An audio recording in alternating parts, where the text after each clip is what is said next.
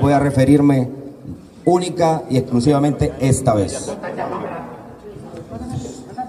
Quiero, quiero aclarar que este tema de falsas acusaciones no es nuevo.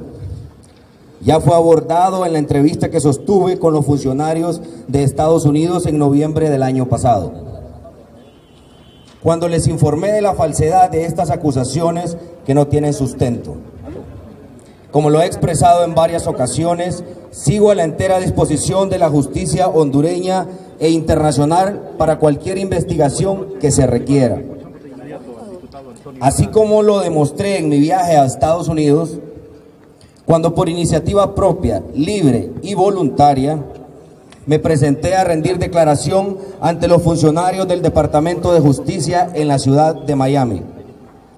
También el 26 de enero del presente año, como iniciativa propia y de manera voluntaria, rendí declaración sobre este caso ante el Ministerio Público y sigo a la disposición ante cualquier investigación o solicitud de información adicional.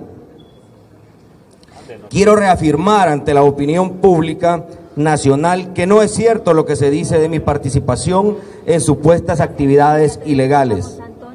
Y no es posible que nos parezca correcto que los patos quieran dispararle a las escopetas. Por muchos años los miembros de la organización criminal de la familia Rivera Maradiaga, conocida como Los Cachiro, hicieron mucho daño a las familias hondureñas en su negocio de tráfico de drogas, asesinato y otras actividades delictivas. Como con todo el dinero, logística y armas de que disponían, y la sociedad hondureña no debería permitir que estos delincuentes usen ahora como armas la mentira y la calumnia con el propósito de seguir haciendo daño y desacreditar a los que luchan de manera frontal contra estas bandas criminales. Quiero reafirmar de forma contundente que estoy dispuesto a colaborar con cualquier investigación que de forma seria se realice.